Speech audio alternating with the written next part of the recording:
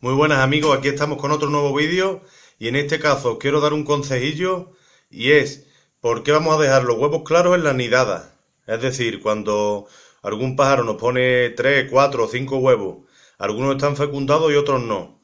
Pues el por qué vamos a dejar los que no, están fecundados dentro del nido. Ahora os voy a poner unas imágenes de uno de mis nidos que tienen los huevos güeros como os decía, en este caso uno y mientras veis las imágenes os voy a comentar los beneficios de dejarlo en el nido. Bueno, pues ya estáis viendo las imágenes como os decía y si os fijáis hay tres pollitos pequeños que tienen varios días de vida y hay un huevo claro. Eh, ¿Por qué es importante dejarle siempre al menos uno de los huevos claros en el nido?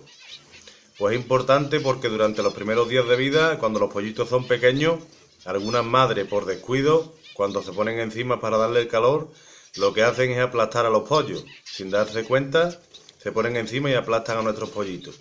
Entonces, lo que va a hacer el huevo güero que tenemos ahí es que la madre sienta el huevo debajo y tenga, digamos, más cuidado.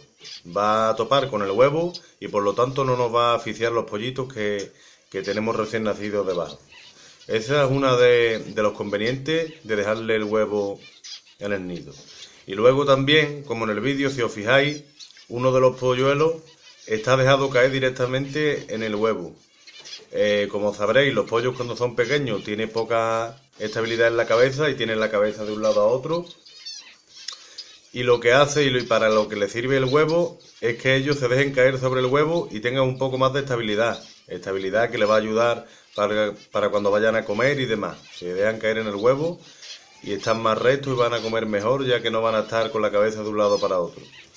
Entonces esa es otra de las ideas por la que deberíamos, y es bueno dejarle siempre el huevo, para que ellos tengan una estabilidad y digamos una comodidad, de que se dejen caer sobre el huevo, que bien como en el vídeo estáis viendo, sirve también para eso.